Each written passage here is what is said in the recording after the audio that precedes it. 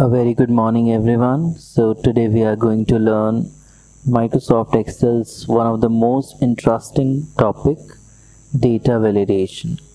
Data validation is something in which we understand, we know how we are able to validate the data. It is the process of working on correct and useful data. Means when we have entered some data, we can validate it whether it is correct or useful or not. It uses checks, often called validation rules, and that checks for correctness, meaningfulness, and security of data, which is the input to the system.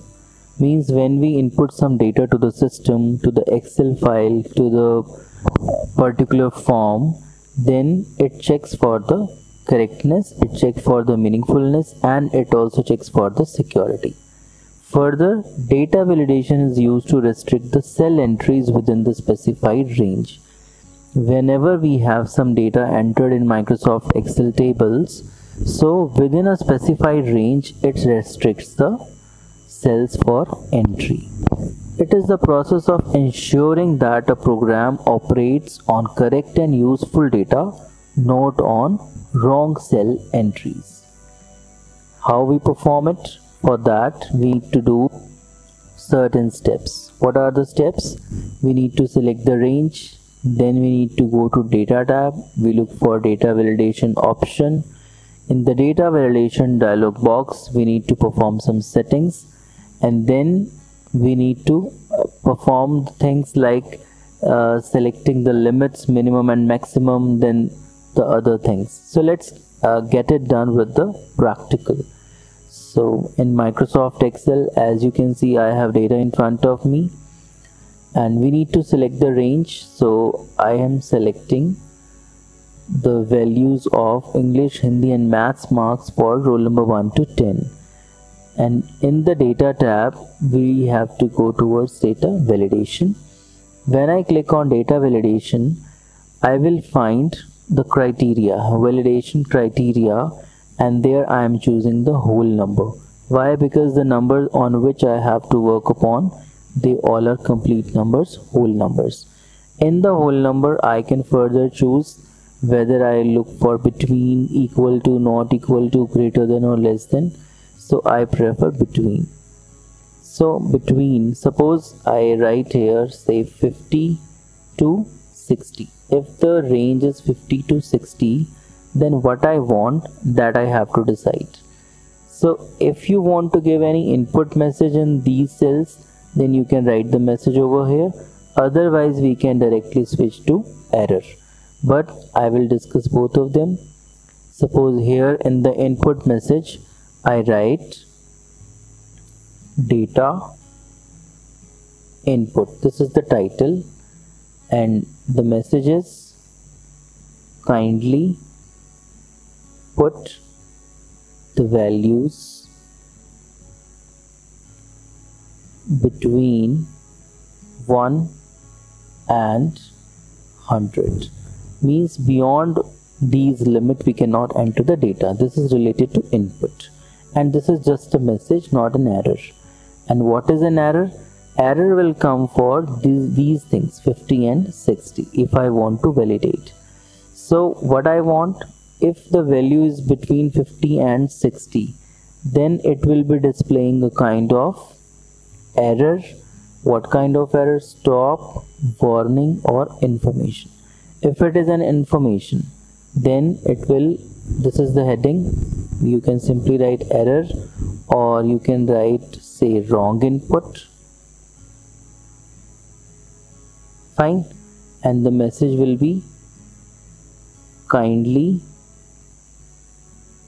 enter the values between 50 and 60 right?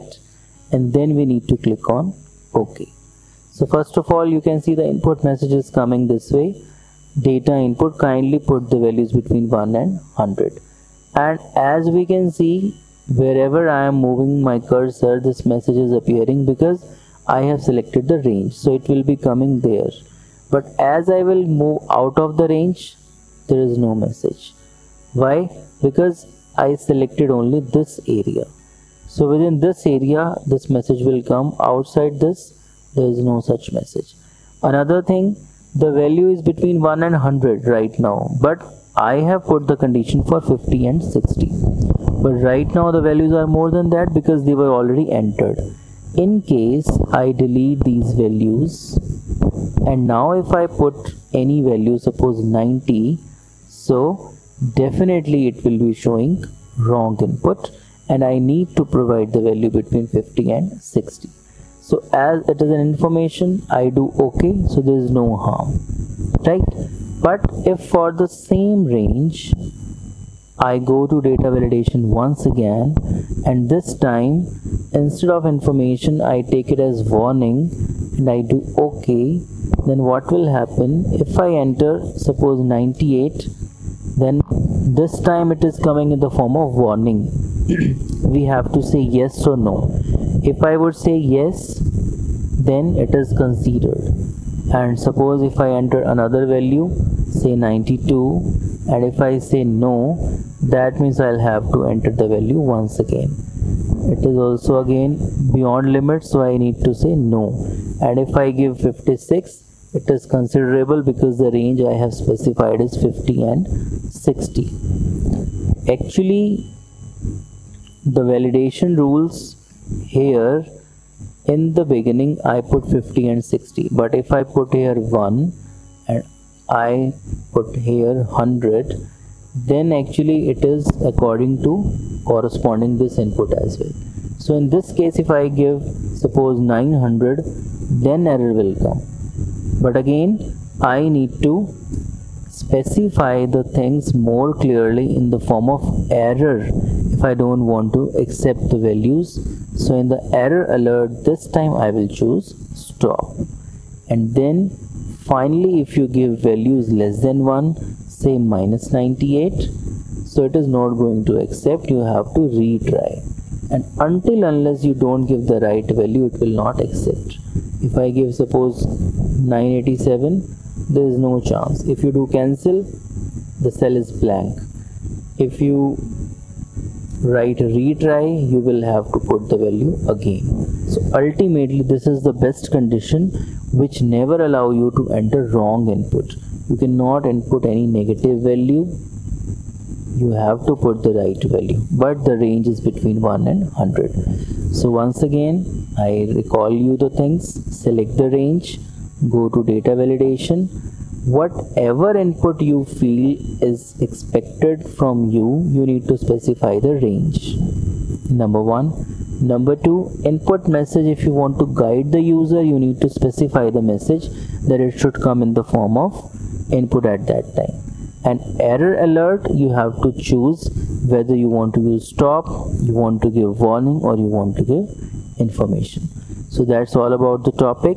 Thank you so much and you need to practice all these things only then you will be finally able to achieve the target which you have kept in front of you that is the understanding Microsoft Excel features as well as possible. Thank you so much.